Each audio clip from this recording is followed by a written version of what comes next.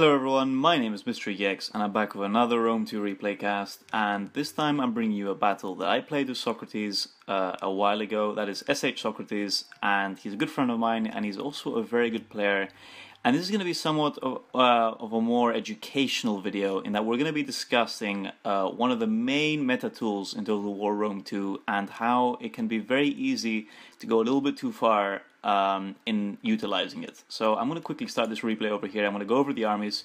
Uh, my opponent Socrates is going to be playing as Sparta and I'm going to be playing as Massilia. Uh, the more uh, keen-eyed of you, that the eagle-eyed, the right word, uh, will have noticed that I have uh, four-steppe armored lancers over here, uh, which are a tool from the Massagetae, and uh, my friend Socrates here has glitched in four heavy horse. He used the glitching technique, which I'm not going to elaborate in this video because um, I don't want people to be using it in quick battles online to exploit it. Uh, you should always, but if you do know how to do it, you should always do it when your opponent's consented to it and not in quick battle. But anyway, uh, back to the replay. So I've brought uh, five Massilian hoplites, I believe.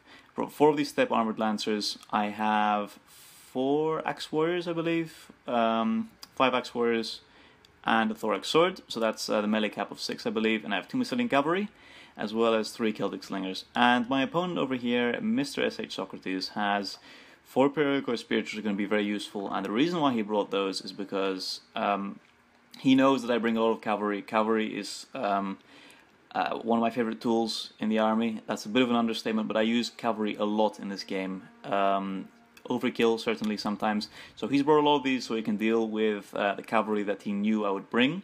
He's brought a very strong hoplite corps. He has uh, four Royal Spartans, I believe, um, somewhere here. Let's pause it quickly before the action begins. So he has one Spartan hoplite, Spartan hoplite. So one Hero Sparta, one Royal Spartan, another Royal Spartan, another hero of Sparta.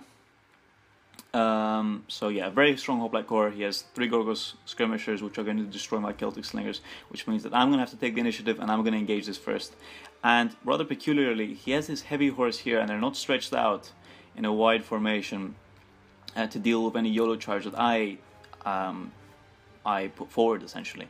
So he's going to let me take the initiative this time, and that's very interesting um, because he told me afterwards why he did this, and I'll explain at the very end of the video exactly what he said. Um, but um, what I'm going to do here is I'm going to do the traditional meta thing of YOLO charging my opponent. So I'm going to be charging in all my cavalry to get as much HP damage done to my opponent as possible. As you can see here, we have two lines of infantry, but thankfully for me, because these are hoplites, there's no second line of precursors. So this shouldn't be too damaging for me. It's actually quite uh, a good gambit, it seemed at the time. So let's have a look and see how it goes for me, um, because I think it'll be very interesting um, to look exactly how this goes down because it will affect the rest of the battle and if I manage to succeed in this it will result in my victory. If I fail result in my defeat. So I'm going to push forward my Massilian hoplites who I've put at the very front because I don't want these axe warriors getting charged by his heavy horse which can do a lot of damage to them. By the way I've brought all these axe warriors because they have a lot of armor piercing and if they are put behind my Massilian hoplites uh, so they're not, they're not losing decisively they will, it'll be very difficult to rout them and they'll do a lot of armor piercing to his Spartans. So obviously that was a strategy there uh, I'm going to do a quick YOLO charge here. I'm going to change my targets last second over here. So I'm going to get some decent charges. I'm going to hit his general. I'm going to hit his Spartan hoplites. But I would like the viewer to pay attention here to the fact that I'm going to lose a lot of my steppe armored lancers here and my friend over here SH Socrates is going to do very little to counter this. In fact, he's not going to bother at all with his heavy horse. And at first I thought this was just poor micro on his front, but if you look carefully, my steppe armored lancers have taken ridiculous losses and they haven't done that much HP damage. Yes, I'm more guaranteed to win the infantry fight, and I actually feel that my chances in terms of the infantry fight are better than Sparta's right now because I have a lot of Axe Warrior support and they're an amazing unit. We have 10 armor piercing from them, so that is a huge trump card in my favor. But at the same time, my cavalry contingent has been almost entirely eliminated here. I have two Massilian cavalry. I did push them forward here on the left and right flank but realizing that he has spear support here, I want to delay the engagement as quickly as possible. He gets hung up here on my Massilian hoplites, but I'm very easily winning the central infantry engagement, destroying these Royal Spartans with my um, uh, heavily armor-piercing axe warrior units. I'm going to get a last second charge here on the heavy horse. Actually, my Massilian cavalry are a really good unit. They will do pretty well in that engagement. I think they'll trade quite cost-effectively, although he is going to reinforce them with spears.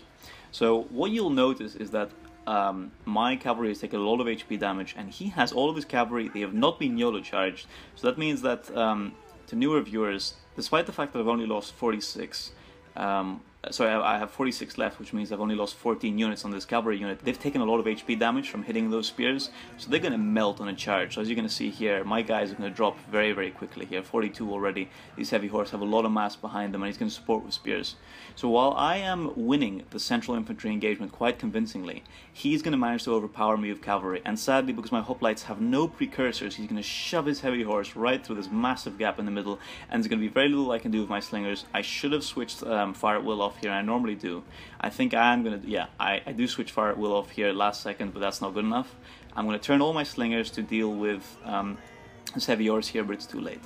And as you can see, this is where the match is going to be an absolute disaster here. I have very little cavalry left on the field because of my initial YOLO charge, and from a cavalry advantage, I went from a cavalry disadvantage. So despite the fact that I'm going to win this um, infantry engagement quite easily, the fact that he's going to have both skirmishers left because I've lost all my cavalry, and he's going to have cavalry left, is going to lose me the match. Um, so yeah, spoilers. He has Perioikoi support here of his spears, but I'm going to pull out my cavalry here because um, there's no need to stay engaged with these spears here. He does have the opportunity to outflank me here with his hoplites. Uh, and he's getting some nice rear charges with his heavy horse, getting some nice kills. But as you can see, I'm winning the central engagement. Um, I'm getting cheeky last second charges on um, the heavy horse so that um, I can make them pay for that engagement. My general here is going to absolutely destroy this Perioikoi spear, and I'm going to get behind his units here. But again, he has a lot of cavalry left. I'm going to support here with um, a Massilian Hoplite, but again, no precursors, very heavy unit. They're probably going to mob up my cavalry before I can even get to them. Uh, that's one of the disadvantages of bringing hoplites, however tanky they may be. He's going to get a nice charge here, or he's not actually, and I'm probably going to take down a lot of his heavy horse, so that's a micro fail from him over here. Um, yeah, I'm doing very well in the, in the, infantry engagement, but as I predicted, I'm losing my Massilian cavalry and my steppe armored lancers faster than I can get my uh, my uh, Massilian hoplites to support. So I think the, the main lesson, the reason why I wanted to share this video is that the main lesson to take home is that YOLO charging, there should always be a point to your YOLO charging. I had, um, I'm not sure if I had an infantry advantage, but I at least had parity. And what I definitely had was a cavalry advantage. I had four steppe armored lances, which are probably the most cost-effective lance infantry uh, lance unit in the game. Uh, so I could have easily have dealt with his, with, with his heavy horse, honestly, even with, with spear support. So rather than playing on the advantage of my cavalry versus his and being able to mop up his skirmishers while protecting mine, and skirmishers in the late game are very important, I went ahead and did the overkill maneuver. I decided that I really wanted to win the infantry engagement, and uh, what good is there to winning the infantry engagement when your opponent is left with semi-elite skirmishers and cavalry at the very end of the game? Um, that's the that's the, the, the, the, lesson to take home here. You have to be very careful with YOLO charging because you take um, an incredible amount of damage um, from from doing it, and there has to be a purpose to it. Um, I remember there was a really good video that I saw on Maximus Decimus Meridius' channel where Greek Iraklis plays uh, against another really good player, and for some reason Iraklis, as the Seleucids, lets all of his units get rear charged, and at first thought you think to yourself why, why did he allow that to happen? He's going to lose the infantry engagement decisively. And um, the battle's over, basically. But the reason why he did that was because when the Median cavalry charged into his uh, front line, and I'm going to link this video in the description so you guys can have a look at what I'm talking about. Um, the Median cavalry lose so much HP from all the javelins that um, in the late game his opponent has no cavalry, and yet Iraklis has a huge line of skirmishers and horse archers and uh, can very easily deal with what infantry remains. So yeah, we just have to be you just have to be very careful in when you decide to YOLO charge and when to realize that it's probably not the best idea.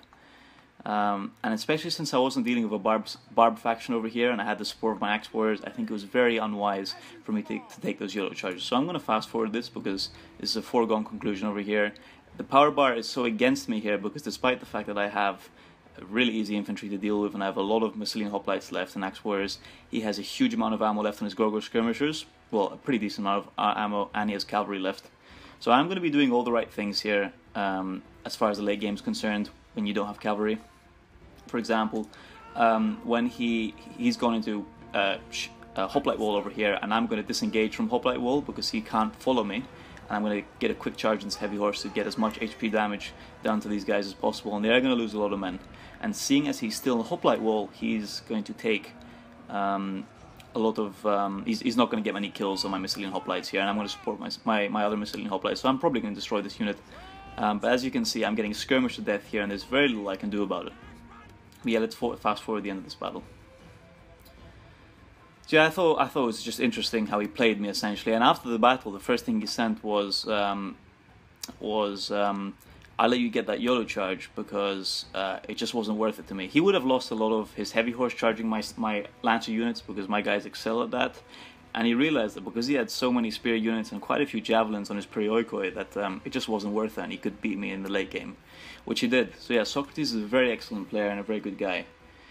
Um, some of the kills here, we have 131 on my general. Honestly, my infantry did very well, and in terms of the infantry engagement, it went very well for me. I handled it well. Got some nice charges with my Massilian Hoplites. Uh, backed up with Max Wards, got 150 kills in this 103. This is a pretty nice performance. Um, the kills over here don't matter that much because the whole point of these guys is to get the armor piercing and HP damage done.